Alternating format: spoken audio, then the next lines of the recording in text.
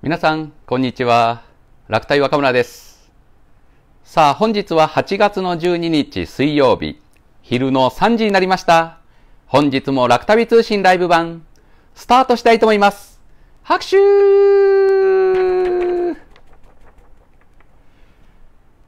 さあ、本日皆様の目の前には、京都の奥深い味わいがずらりと並んでいます。金島正宗、地ビールから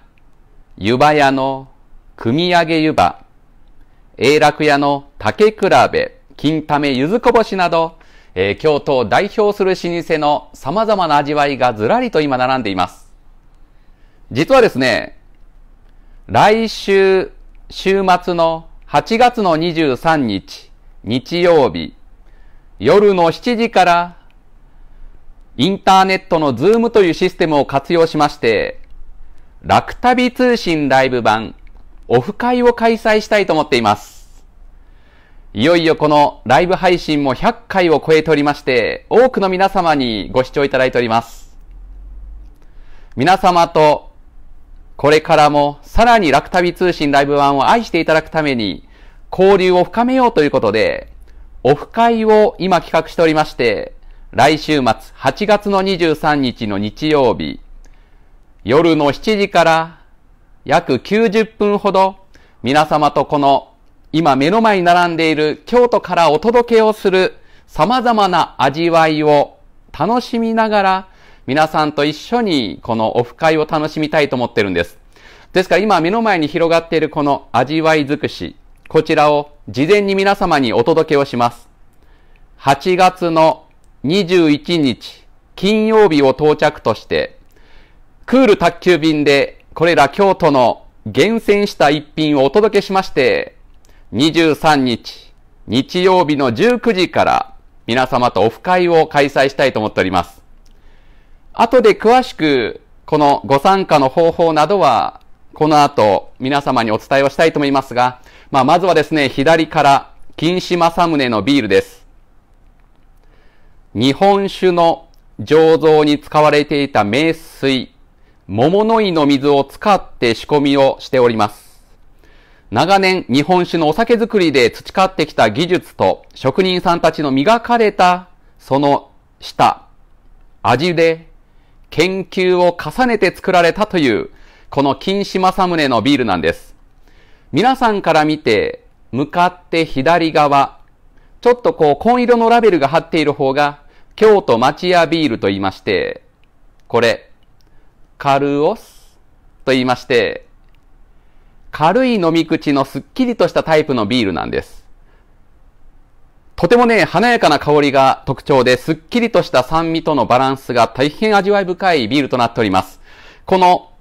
カルオスというビールとですね、もう一個、右側の花町ビール。こっちはね、まったりという名前がついておりまして、えー、非加熱の処理の生ビールなんです。コクのある味わいとまろやかな味わいが大変特徴で、そのビールの色も美しい琥珀色のビールなんです。このまず、クール宅急便で京都からの地ビール2本をつけまして、さらに真ん中、錦市場に店を構える老舗、湯葉屋さんの組み上げ湯葉。で、この湯葉に合うのがね、左側の下にある永楽屋さんの竹比べ、竹の子、椎茸など、竹の子、竹尽くしということで、竹比べという佃煮になっておりまして、その生湯葉に、永楽屋さんの竹比べを乗せてぜひ、この度味わっていただきたいと思います。そしてね、私が何と言っても大好きなのが、左上、金亀の柚子こぼし。まあ、京都といえばね、お漬物ですけれども、この柚子こぼしが大好きでね、ぜひこれも今回お届けしたいと思います。で、右側には、夏頭巾と書かれた枝豆が袋に入っております。ちょっとね、先ほど茹でましてね、前の方に置いておりますけれども、えー、こちらはですね、この京都丹波でしか取れない限定の枝豆で、実は8月の10日あたりから月末まで、約3週間ぐらいしか収穫ができないという、もう京都でもなかなか手に入らない実はこちら、京都の夏頭巾という丹波、原産丹波から生まれましたね。こういう美味しい枝豆があるんです。えー、これも今回お届けをしたいと思います。そしてね、ビールにはやっぱりピリッとカレー。ということで、上の真ん中に豆正。京都の老舗の和菓子です。豆正の今日の街角、カレーレーズンというですね、まあちょうど五段の送り火がありますので、送り火のパッケージでこの豆正さんの味わいも皆さんにお届けしたいと思います。えー、これらはですね、これまでライブ配信でもお世話になりました、大丸京都店の地下にたくさんの老舗のお店が入っておりまして、今回は大丸京都店様と私たち楽旅が厳選をした今日の味わいを皆様にお届けしようということで、いよいよ今日から募集を始めまして、クール宅急便でお届けをするんです。ということで、この後ですね、さあいよいよ私も登場します。そしてですね、このオフ会の概要をですね、ちょっと皆さんにお伝えをですね、していきたいと思います。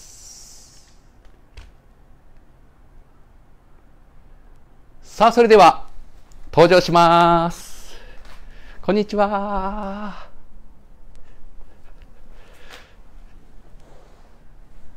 さあ、それでは皆さん改めまして、こんにちは。楽太若村です。さあ、本日は、まあ、素晴らしい京都の味わいからスタートしたライブ配信です。先ほどもお伝えしましたように、まあ、これまで4月の中旬からこのライブ配信をスタートしましても、100回を超える回数を重ねてきました。これもまあ皆様に、このライブ配信を愛していただきまして、まあご視聴いただきましてね、まあ私たちも皆さんもとにかく今は、ハートに心に元気が大事ですから、このハートマークで毎日元気をお届けしているわけなんですけれども、夏の味わいを皆さんと一緒に楽しみながらオフ会をしたいなということで、えー、スタッフの方からも声がありましたので、それじゃあ、ただ単にね、皆さんとこうやってインターネットで繋がるだけではなくて、せっかくであれば、今しか味わえない。なかなか皆さんも京都にね、観光で来られる方も今なかなか来られませんので、京都から逆にお届けをしましてね、皆さんの家でこの京都の味わいを風切っていただきましてね、そして、 Zoom というインターネットの仕組みを使いまして、リアルタイムに皆さんと一緒にビールの栓を開けて、カーッと飲んでね。そして、生湯葉、竹比べの佃煮を乗せて、で、柚子こぼし、豆政、そしてなんといっても今回、この限定の夏頭巾、ぜひね、お届けしたいと思います。今ね、大丸京都店様と、なんとかこの商品が揃うように、今、鋭意、今、奮闘中でありましてね、もしかしたらちょっと商品が変わるものがあるかもしれません。えー、なんせ、数を揃えて、日時までに皆さんにお届けをしないといけませんから、これからちょっとお盆があります。お店によっては商品がちょっと揃わないこともあったりして、もしかしたらちょっとね、商品が入れ替わるかもしれませんけれども、それでも入れ替わるものも、私たち楽旅が厳選したものを入れていきますので、基本これがお届けになると思っていただいても結構かと思いますが、まあこれからもですね、まだあと1週間ちょっとありますので、皆様のためにいいものを揃えてですね、京都から京都の味わいをお届けしたいと思っております。で、このオフ会、来週末の8月の23日、日曜日の夜の7時から開催したいと思います。皆さんにはその2日前の21日金曜日に、この今日の味わいセットが届くように、え大丸京都店様からクール便で全国へと発送をしたいと思います。21日の金曜日か、22日の土曜日、どちらかで受け取っていただきまして、そしてぜひ皆さんね、食べないでくださいよ、すぐに。あー、来たと言ってね、すぐ食べてしまったらもう、23日はありませんので、23日までちょっと待っていただきましてね。そして、この夏頭巾は皆さんで茹でていただきましてね、こうやって、もうビールにぴったりの枝豆となりますのでね、ご用意いただきまして、そしてね、その当日23日の夜の7時から、ズームをこの楽旅京町屋と皆さん、接続をしまして、まあ、できたら皆さんといろんなね、意見交換もしたいと思いますので、事前に楽旅にこんなこと聞いてみたい。若村にこんなこと聞いてみたい。いろんなね、質問なども受け付けたいと思いますので、ぜひいろんな形で、今まで私からの一方通行で京都の魅力をお届けしていますので、皆さんからもいろんなお話を頂戴いたしましてね、双方向で楽しいオフ会を約1時間半ぐらい開催できたらいいかなと思っております。もちろんね、少しこういう商品届けますので、有料になりますけれども、まあその、この後、3時半から受付ができるように今準備しておりますので、私の Facebook、今皆さんこのライブ配信ご覧になっていただいていると思います。この Facebook 上にまず第一にお知らせを出しますので、そうしてそこでリンクをクリックしていただきまして、そのご参加のお申し込みになりますので、ぜひ今、あ、もう食べたいという方はですね、この後3時半過ぎにそのサイトを立ち上げてですね、えー、皆さんにその情報をお届けしたいと思いますので、えー、3時半以降にアクセスをしていただきまして、お申し込みをね、いただきたいと思います。なんだかもう、テレビショッピングみたいになりましたね。昨日、京料理の二伝さんともね、またこういう形で、二伝さんのスペシャルないろんな京料理をですね、四季折々にお届けしてもいいかなとか、いろいろね、二伝の山田さんと、もう3時間にわたる昨日打ち合わせをしましてね、いろんなこう魅力を京都からね、こういう情報だけではなくて、実際に皆さんのお手元にも、いろんな京都の魅力をお届けしたいなと思って、今ね、秋以降、様々な計画をね、今進めています。まあそういう中で、山田さん曰くね、若山さんもう、こんなことやったらね、ジャパネットならぬ若ネットですね、と言われまして、まあ確かに、もう楽旅は今日からこういう物販の会社として、いやいや、そんなことはないんですけども、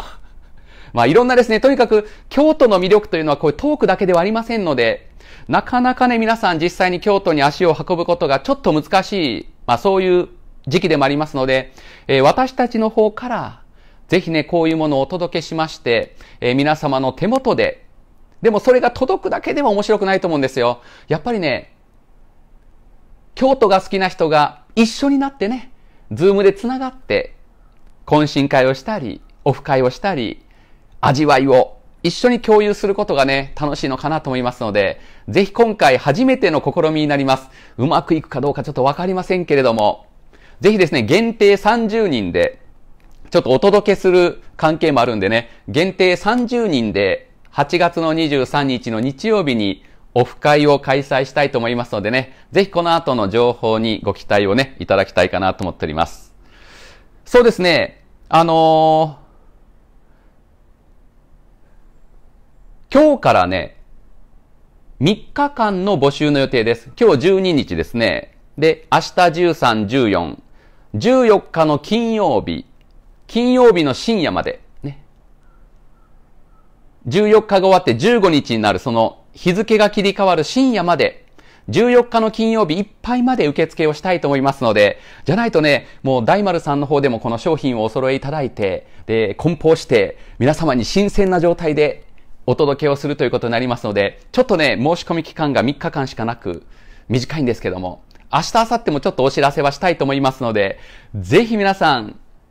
8月の23日のね、オフ会ご期待をね、いただきたいかなと思っております。まあ私たちのスタッフも、この町屋に集いましてですね、ワイワイと皆さんと一緒にオンラインで繋がりたいと思いますのでね、ぜひご期待をね、いただきたいと思います。さあ、それでは、今日もですね、皆さんには今日、ちょっと旅へ、ということで、どこかの寺、どこかの神社へと旅をしていただきたいと思います。もう今日は皆さん、美味しいものを目の前にしてますから、もう、遠くどころではない。もう早く届けてという方もいらっしゃるかもしれませんけれども、そこはそこ、ここはここということで、今日ちょっと旅へ、今日もスタートしたいと思います。それでは、恒例の箱の中に入っている、京都のお寺神社の名前書きました、今日の旅くじ、こちらを引くことによって、どこかのお寺、どこかの神社へと皆さんにトークで旅をしていただきたいと思います。それでは、一つ目のトークテーマを決める、くじ取り式です。さあ、行きますよ。さあ、どこになるでしょうか。これで当たりも出て、ねえ大丸様からの楽旅と大丸様で厳選した今日の味わいセットと、お肉が届く当たりくじも入ってますからね、大丸様の。ビミリクエストも入ってますから、ダブルで届くという方がいらっしゃったりして。いきます一つ目のトークテーマを決めたいと思います。こちら。こちらを一つ目のトークテーマとしてみたいと思います。それでは続きまして、中身を改めるくじ改めです。まずは私が確認をして、一つ、二つ、三つとヒントを出していきたいと思います。あそこのお寺じゃないかな。あそこの神社じゃないかな。皆さんも考えながら聞いてみてください。わかったという方はコメント欄になんとか寺、なんとか神社と書き込んでどれぐらい京都を知っているか腕試しをしてみてください。それでは行きます。くじ改めです。大丸京都店様のビミリクエスト出るか？おっと逆さま。はい。さあ、どこだ？おお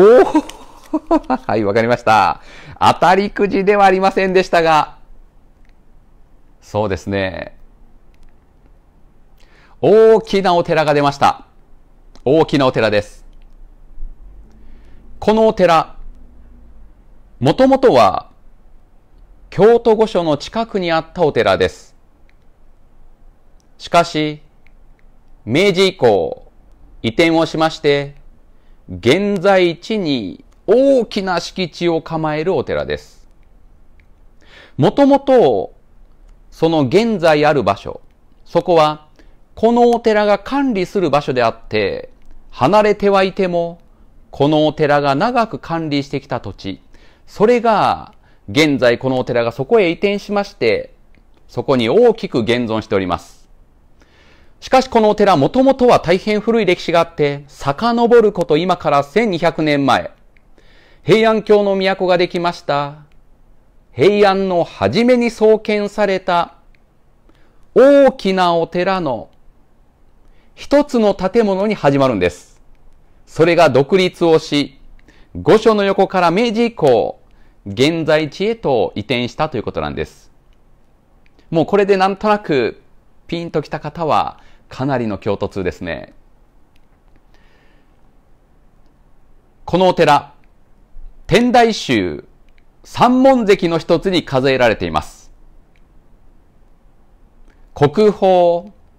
阿弥陀三尊像が知られておりまして、特に阿弥陀様の両脇、観音菩薩、聖子菩薩様は、正座をしているような大和座りという非常に珍しい座り方をした仏像があることからも、大変親しまれているお寺さんです。苔の美しいお庭に往生極楽院があって、その中に国宝阿弥陀三尊像。でも皆さんにとっておそらく、お庭の中、苔の中に、わらべ地蔵というお地蔵様がちょこんと苔のお庭の上で遊んでるように寝そべったり、集っていますので、その写真が大変今大人気です。さあ皆さんわかりましたか？一つ目のトークテーマはこちらです。3000円になります。3000円です。さあ、今日はこのライブ版の札がかなり端っこに追いやられてますが、中央に行きましょう。さあ、この三千院というお寺です。今から1200年前、比叡山に延暦寺が創建されますと、伝行大師最長によってその延暦寺の中に一つの建物として創建されたと伝えられています。円遊院。もともとは円遊坊。それが後に円遊院、円徳院と呼ばれまして、一つの某社、建物だったものが、後のお寺へと改められましてね、特に、梶井門跡とも呼ばれたのがこのお寺さんなんです。密教におきまして、うーっとこう火をたぎらせる中で、念仏を唱え、雨を降らせたり、病を退散させる、そういう火事祈祷という祈りがありますが、その火事祈祷を行うときに汲む水、火事の井戸、火事があったことから、火事門関とも呼ばれまして、現在の京都御所のすぐ東側に、昔の古地図を見ると、火事門関と入っておりまして、常に天皇さんのおそばにあって、何かあった時には宮中、天皇家の祈りを捧げてきた、我が国のお寺の中でも最も格式の高いお寺の一つがこの、元々の梶井門関、現在の三千院なんです。で、この梶井門関は、長く比叡山のお膝元に大原という地があって、今も三千院は大原という場所にあります。結構ね、京都市内からだとバスで1時間弱。で、出町柳や国際会館の駅でも30分ぐらい、ずっとバスで山あいを行きますと、大原という山あいの里があるんです。その大原一帯は昔、比叡山の別院のような場所で、天台宗の仏教のお坊さんが唱えるお経にメロディーがついた天台正明という、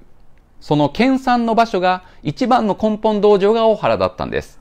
で、その大原一帯を管理していたのがこの梶井門関で、しかし明治以降、この梶井門関の門主が不在となって明治以降を迎えますと、そのお寺の仏様や仏具などすべてをもともとこの梶井門関が管理していた大原へと移されまして、そうして今三千院というお寺が大原に現存しているということなんです。ですからね、長い歴史があるお寺さんで、比叡山から始まり、京都市内で天皇のために祈りを捧げ、そして明治以降今の大原に本格的に今日構えたというお寺なんです。さあ皆さん、天台三門関、パッと出ますか？天台宗の三つの格式の高いお寺を天台三門関と言いますね。天台宗の三門関。こう書きましてね、天台、天台宗の三つの門関という天皇家から巫女などが出家をして、住職を代々受け継いできた格式の高いお寺を、玄関にある門、後と書いて、門関と言いまして、天台宗にある三つの大きな門関寺院というのがあります。その三つと言いますのは、この大原三千院と東山奨励院、青い蓮と書いて奨励院、そして東山七条、あの、京都国立博物館の東大路通りを挟んで道向かい、妙法院というお寺がありましてね、その三つが天台三門関として、延暦寺に次ぐ三つの格式を持ったお寺としてね、今も受け継がれているということなんですね。まあ、とにかくね、三千院さんはこれからで言いますとね、今も夏の時期の緑も大変綺麗ですがね、やっぱりこれからの秋、もみじが大変美しいのが大原です。三千院、法泉院、寂光院と、大きなお寺がいくつも並び立つのが大原。だいたい半日くらい。まあ、長ければもう一日いてもおかしくない。それだけの歴史とお寺が集まるのが天台宗のお膝元で大原と言いますのでね、ぜひこの辺りも一緒に散策をね、三千院のみならず、他のお寺も合わせてですね、えー、参拝いただくといいかなと思います。はい。もう一個ぐらいいけますかね今日はあの、今日の味わいをお届けしましたので、じゃあ、もう一個行きましょう。軽い話題が出ればいいです。いきます。二つ目のトークテーマを決めるくじ取引です。下の方からいきますね。こちら。はい。こちらを二つ目のトークテーマとしてみたいと思います。それでは続きまして、くじの中身を改める、くじ改めです。何が出るでしょうか？逆さまでした。逆さまが多いですね。あ、なんか時間がかかりそうな気がします。あ、わかりました。はい。なかなかのお寺が出ました。まあ今日はさらっと言ってみましょうか。二つ目のトークテーマは、お寺です。このお寺、平安時代に創建をしたお寺に発祥があって、後、お弟子さんたちによって現在の名称に改められます。もともとは、西福寺と称されたお寺です。これでピンとくれば、すごいですね。その西福寺、改めて、あ、違いましたね。もとい。今からもうね、私の気持ちもね、ちょっとこっちに行ってましてね、もう一回行きます。このお寺、今から1100年ほど前に創建されたお寺です。で、このお寺を開いた一番最初のお坊様は大変有名で、なんで有名かと言いますとね、今もこのお寺の宝物館に、そのお姿を刻まれたお木像が残っています。さあ皆さん、京都市内のお寺の中で、そのお寺を創建したお坊様のお姿が残っている。木像として宝物館に祀られているお寺、いくつかに限られてきます。そのお寺には、創建したお坊様も有名ですが、もう一人、その辺り一帯を拠点にした、その人物のお木像もあります。さらにその横には、お地蔵様。さらに横には、閻魔様も宝物館にいらっしゃいます。ただやっぱりね、どれが一番多くの皆様の目を引きつけるかと言いますと、このお寺を創建したお坊様のお木像なんです。なぜかというと、ふわー、ふわーと、口から仏様が出てるんです。さあ皆さんもわかりましたか？口から仏様が出ているお坊様、その木像が所蔵されますがこちら。はい。六原密寺ということなんです。さあ、この六原密寺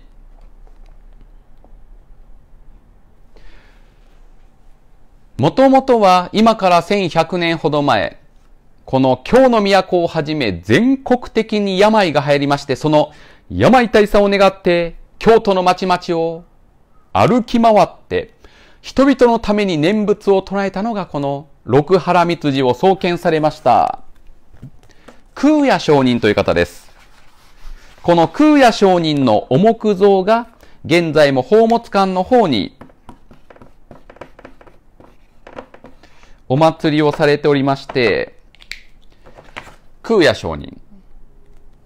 で、この空也上人のお木像の口をよく見ると、口からほわーっとこう仏様が出てきておりまして、6体仏様がいらっしゃいます。な、む、あみだ仏という、なむあみだ仏、六時名号と言いますが、阿弥陀様に極楽往生を願うときに唱える念仏、南無阿弥陀仏。この言葉が口からふわーっとこう出ておりまして、一体一体が阿弥陀如来です。南無阿弥陀仏、南無阿弥陀仏、南無阿弥陀仏。人々のために街を歩き回り、多くの人々を助け、念仏を唱えていったというお坊様だったんです。そのお寺が後にお弟子様によって、六原三寺と改められまして、このお寺、今も庶民信仰に熱い西国三十三所観音霊場の札所としても多くの皆が集うんです。観音様も大変有名なんですが、もう一つ、境内の横に弁天様もいらっしゃいましてね、弁天様は財をなすということで、お正月、新春の風物詩で、京都の都七福神という七福神巡りがあります。その中の弁天様を祀るお寺がこの六原三辻で、新春1月は多くの皆様が六原三辻を訪ねては、御朱印をいただいて、そして財を成しますようにと願って多くの方がお参りをするというお寺さんなんです。六原三辻行きますと、七福神の弁天様ともう一つ、反対の境内の奥に、銭洗い弁財天様がいらっしゃるんです。銭洗い。つまり、お金、銭を洗うんです。皆さんが持っているお財布の中、銭を出して、小さなカゴの上に銭を乗せ、弁天様に祈願し、その清らかな水で銭を洗うんです。すると、目には見えない悪いものが流れ、清められた銭は皆様のお財布にさらに銭を呼び込むという、銭を洗うことから、銭洗い弁財天という弁天様がいらっしゃるんですよ。ぜひ皆さんも、気運が上がりますようにと願いまして、また、これぐらいの小さなザルの上に銭を乗せて、ひしゃくで水をかけて洗う習わしなんです。で、ちゃんとね、その洗った銭を収めるための袋、お守りとなる袋もあって、その中に袋を授与いただきましてね、お寺さんから。で、その中にその洗った銭を入れて、金運上昇、銭が入りますようにと願うことができるんですよ。ですから、いろんなね、こう見どころがあるのが六原三辻さんで、仏様、その中でも、観音様、空也上人像、で、平の清盛像もありますね。六原一帯は、今から800年前、平安末期の平家の一大拠点となって、平の清盛の木像も今所蔵されています。そうしてこの弁天様、銭洗弁財天など、さすが千年を超える庶民信仰に熱いお寺ですからね、いろんな仏様が今お祭りをされておりますので、ぜひまた、宝物館でね、そのご利益を願って手を合わせていただきたいと思います。ちょうど今からのお盆の時期、いつもですね、万灯会という伝統行事を行っておりまして、お将来さんを迎え、またお将来さんを送り返すという、今この8月には欠かせない伝統行事も行われておりますので、また、暑い夏ではありますけれども、この近くに六道珍王寺さんもありますからね、合わせてこの辺り一帯の歴史をじっくりと散策をいただくといいかなと思います。もっともっとね、お話をすべきことはいろいろあるんですけども、今日はこの辺りで、ロカル道でした。一つ目は、三千院さんと、二つ目が、六原三辻ということでした。ということで、ほぼほぼ毎日配信しております。楽旅通信ライブ版、今日ちょっと旅へ。今日のトークは、ここまでとなります。さあ、この後、このライブ配信が終わりましたら、このオフ会の情報、Facebook にアップしたいと思いますので、ぜひお申し込みをお待ちしたいと思います。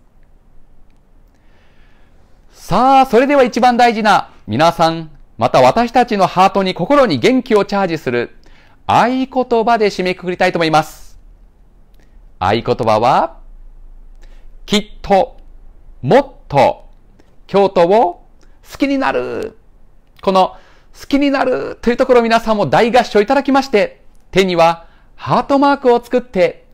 心にハートに元気をチャージしてください。たくさんの元気を京都までお届けいただきまして、京都からもたくさんの元気を皆様にお届けしたいと思います。それでは行きます。きっと、もっと、京都を好きになるということで今日も午後3時からお届けしました。ほぼほぼ毎日配信、楽旅通信ライブ版、今日ちょっと旅へ。明日も同じ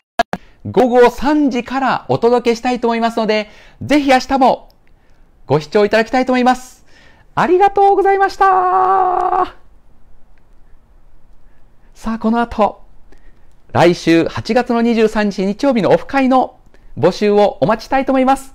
ありがとうございました。ハートマークを連打して元気をチャージしてください。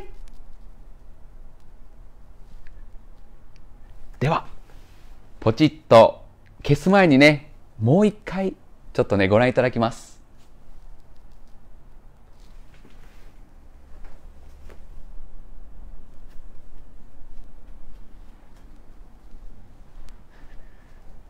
さあ、今回初の試みで京都から皆さんの心にハートに元気をつけていただこうと、えこのような京都の美味しいものをですね、お届けしたいと思います。ただ一人で食べるのは、ということですからもう私たちとオンラインでつながりまして、ズームで一緒にですね、この京夏頭巾、そして豆正さんの、これいいでしょう。五山の送り火のパッケージ、カレーレーズンです。もうビールとぴったりですよ、これ。そして、私が一番大好きなお漬物、柚子こぼし、金為さんです。そしてこのメインは、錦市場に店を構える、湯葉屋さんの、これたっぷりあります。もうこのパックたっぷり入った、組み上げ湯葉。このおつゆもいいんですが、今回はこの永楽屋さんの竹比べという佃煮をお付けしますので、湯葉の上にこの佃煮を乗せて、こういう形ですね。これはこの後私いただきます。ということで、ぜひですね、これら京都の味わいを皆さんと一緒にオフ会で味わいたいと思います。それでは皆さん、さようなら。